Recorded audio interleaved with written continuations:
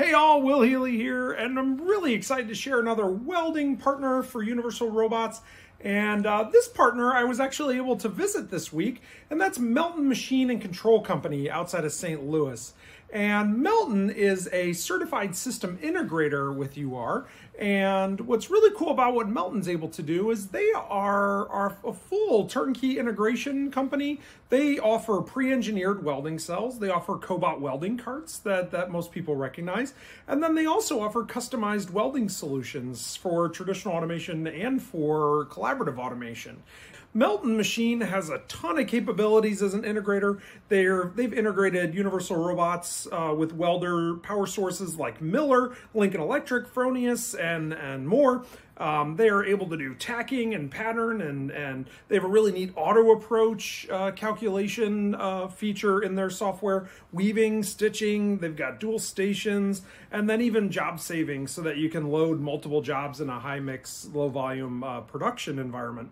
Um, they also have uh, additional things like tool changers, finishing and grinding and material handling. So they, they've got, you know, around the weld, what are some of the other processes that you're doing?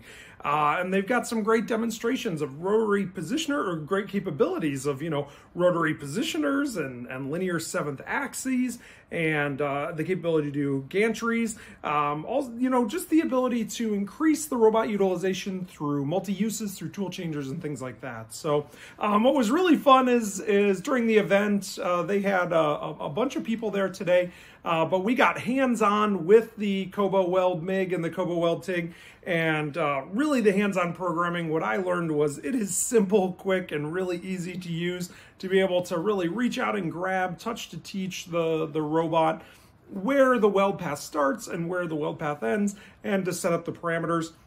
They have a foot pedal attached to their cart that's really slick that I that I found really easy and intuitive to be able to to free drive the robot for, for the touch to teach.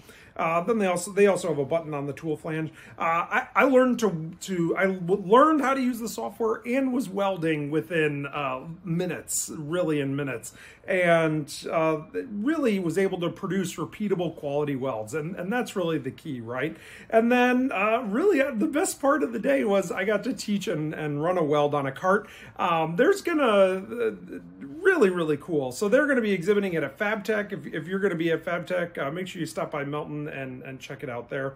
And then, uh, you know, Melton customers, they shared a lot about success stories they have and, and just their ability to, to create for many customers two times productivity over the manual welding for half the cost of a, of a traditional automation system for, for many of their customers. So um, I thought that was cool, the ability to, to be easy to teach and easy to use. And then, uh, you know, collaborative welding really boosts quality and avoids, allows you to avoid customer complaints by having bad parts reach the customer. So um, Melton Machine uh, out of St. Louis. I'll make sure down in the comments there's some uh, some resources that you can you can find them.